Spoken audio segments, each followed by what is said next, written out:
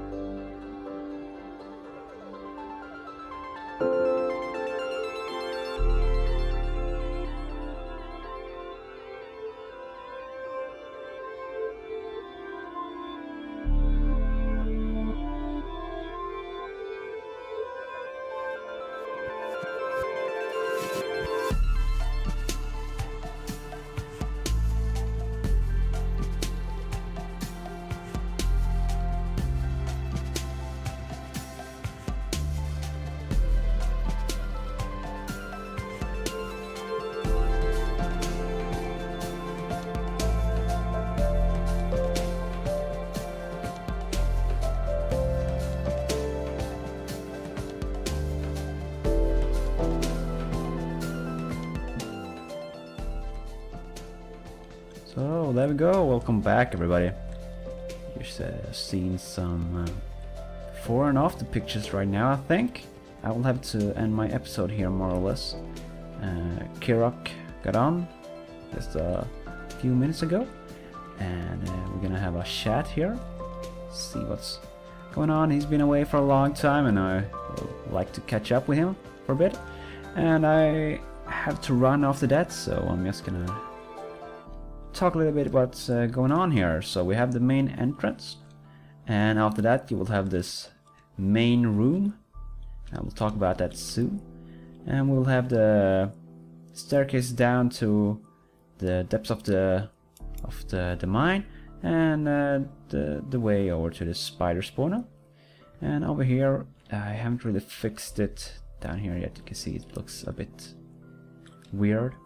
Uh, but this is an alternative cave, I guess. And I removed entrance here because it was useless. And I saved a little bit of grass down here because uh, in this room I'm thinking about having uh, an automated sorter here with some uh, some furnaces to melt, you know, iron and gold and whatever else I would need to melt. And uh, in this direction, I think it have just just some uh, some uh, oh, what are they called now? Why have I forgotten? They are called chests. There we go. So over here, I'm I'm thinking about having some chests, and I can just put everything I find in the mine into them, and they will be sorted out. The same goes for this side. I will put in uh, all the iron and gold into a chest, and it will all be sorted out into the the, uh, the furnaces to be melted. And I'm thinking about having some uh, automated sorting system to put it all down below the ground here into uh, some mine carts, and they will go out through this wall and up to our base is my plan. I don't know if I'm gonna incorporate that yet, but I'm thinking about doing something that all the the, the rails will go beneath the ground here and up my mountain and up to my base. So I don't have to run up there with everything I collect down in, in the mines here. And I'm saving the grass over here because I might build something in this direction for some livestock and it would be nice with some grass down there in that case. And um, yeah, I think that's everything for now. Uh, I don't know how long the episode turned out to be. I don't know how interesting it turned out to be, but I hope you all liked it. And please feel free to give me a comment about the, the look of the cave so far. Do you like it? I, I tried to make it look like the, the wood here is uh, supporting the roof. And uh, I have these uh, stone bricks to be a supported roof for all the dirt on top of the cave. And uh, other than that, I just have the stone walls to make it look like a, you know, a carved out cave, more or less. But yeah, that's all for this episode. I want to thank you all for watching so much. And I'm looking forward to see you all in the next episode. And we should take care of some mining in that one, hopefully, for our spawn house. Yeah, hit me up with a comment about the look so far. Do you have any ideas how to change it. I might as well ask you this. Let's see, let's put a, uh, torch right there.